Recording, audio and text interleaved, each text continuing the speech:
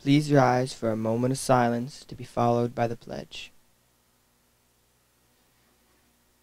I pledge allegiance to the flag of the United States of America and to the republic for which it stands, one nation, under God, indivisible, with liberty and justice for all.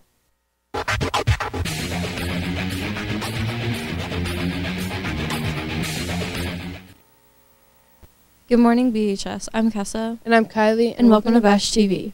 Today is Wednesday, April 3rd, making today the official 125th day of school and day one of the cycle. The lunch menu for today will be pork barbecue sandwich, sweet potato fries, fruit, and milk.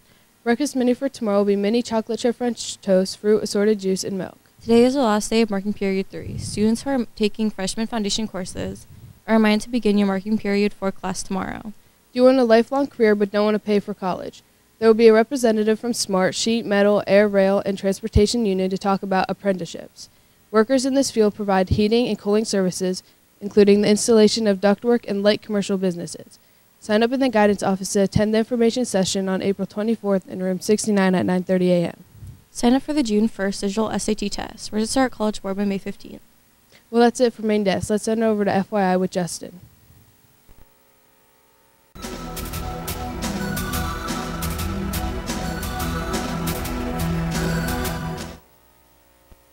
Thanks, Kessa and Kylie. I'm Justin and welcome to FYI. SADD will be collecting tabs to donate to the Ronald McDonald House in Danville until April 19th. Please drop them off in the cafeteria or the library collection jug. Jolt Bible Club will be having its first meeting today after school until 3:15 p.m. The group will meet in room 31 for a time of student-led fellowship, Bible study, and snacks. Please see Ms. Kerbacher in room 31 or Ethan Packer with any questions. Now let's check out tonight's events. Tennis is away with MMI at 4 p.m. Dismissal time is 2 p.m.